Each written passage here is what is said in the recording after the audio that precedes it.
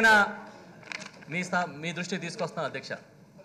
అధ్యక్ష అబద్ధాలు అంటే అది డెరిగేటరీ కాబట్టి అబద్ధం అని నేను అన్న కానీ అధ్యక్ష ఆయన ఏం చెప్తా ఉన్నారు? దిశ చట్టం తీసుకొచ్చిన రోజున లావణ్య అనే ఒక అమ్మాయిని ఒక లక్ష్మణ్ రెడ్డి అనే ఒక అబ్బాయి చట్టం వచ్చిన రోజునే రేప్ చేస్తే చట్టం వల్ల రేప్ చేశారంటగా చెప్తా ఉన్నాడు సార్ ఆయన. ఏం సార్ అది? ఇంత వక్రీకరణ. అధ్యక్ష ప్రతిదీ వక్రీకరణ అధ్యక్ష. ఆయన ఎస్సీల అభ్యున్నతి కోసమే పుట్టినట్టుగా మాట్లాడుతూ ఉన్నారు అధ్యక్ష. అధ్యక్ష మేమందరం శాసనసభ్యులుగా ఉన్నప్పుడు రెండు వేల తొమ్మిది రెండు వేల పదమూడు మధ్యలో పద్నాలుగు మధ్యలో అధ్యక్ష ఈ రాష్ట్ర శాసనసభ ఒక కీలకమైన చట్టాన్ని చేసింది అధ్యక్ష. ఎస్సీ ఎస్టీలకి ఎస్సీ ఎస్టీలకి సప్లై ఇవ్వాలని చట్టం చేసింది అధ్యక్ష.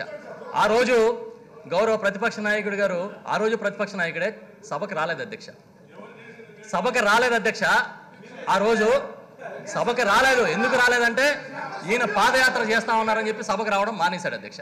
నిజంగా ఎంత చారిత్రాత్మకమైన చట్టం చేసినప్పుడు రావాలి కదా అధ్యక్ష? రాలే. పోనీ అది అయిపోయింది అధ్యక్ష.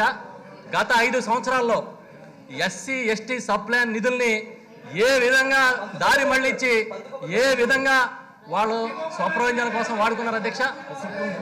ఎస్సీ ఎస్టీ ప్లానింగ్ ప్లాన్ నిధుల్ని ఇరిగేషన్ ప్రాజెక్టులో కూడా చూపిస్తారు అధ్యక్ష వీళ్ళు వీళ్ళు మాట్లాడుతూ ఉంటారు.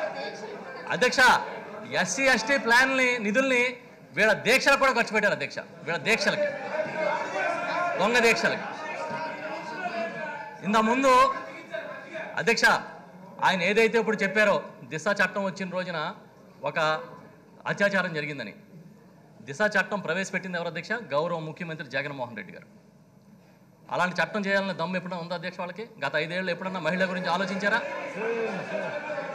ఇవాళకి కొన్ని కేసుల గురించి పత్రికలో రాస్తున్నారు అధ్యక్ష. వాళ్ళ హయాంలో జరిగిన కేసుల గురించి. నాగార్జున యూనివర్సిటీలో ఒక కేసు జరిగింది అధ్యక్ష. రితికేశ్వరి. దాని గురించి మాట్లాడారు అధ్యక్ష ఆయన? ఆయేషా కేసు. ఐదేళ్ళు ఆయన ఏమైనా చేశారు అధ్యక్ష? అధ్యక్ష మేము ఒకటే చెప్తా ఉన్నాం. ఆయన ఏ రోజు చిత్తశుద్ధితో పనిచేయరు.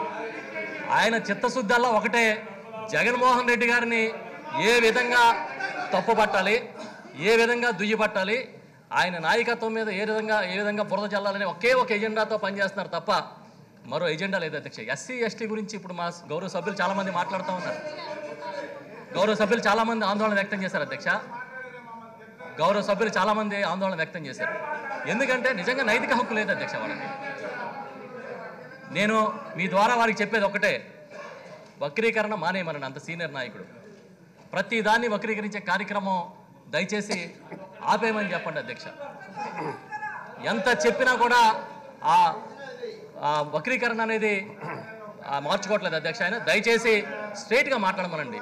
ఆ రోజు మీకు సిగ్గు లేదా ఏదో అత్యాచారం జరిగితే మాకు సిగ్గు లేదా ఇరవై ఒకటి రోజుల్లో ఉరి తీయాలని చట్టం పెడితే జగన్మోహన్ రెడ్డి గారు ఆయన్ని దేశం అంతా కూడా ఇవాళ ఎప్రిషియేట్ చేస్తుంది అధ్యక్ష. ఇప్పుడే మీరు చెప్పారు మాకు. ఢిల్లీ హైకోర్టు ఢిల్లీ గవర్నమెంట్ మన చట్టాన్ని పంపించమందని. దేశం మొత్తం మన వైపు తిరిగి చూస్తూ ఉంది. ఇంత గొప్ప చట్టాన్ని చేసిన నాయకుడిని మేమందరం కూడా అనుసరిస్తామని.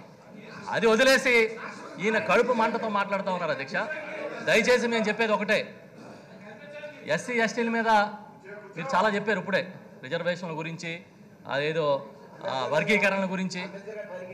మీరు ఏ రకంగా మాట్లాడతారో ఏ రకంగా కులాల మధ్య విభజన క్రియేట్ చేస్తారనేది ఈ దేశం ఈ రాష్ట్రం చూసిన చరిత్ర అధ్యక్ష. దయచేసి ఆ వక్రీకరణని ఉపసంహరించుకోమని చెప్పి రిక్వెస్ట్ చేస్తా ఉన్నా.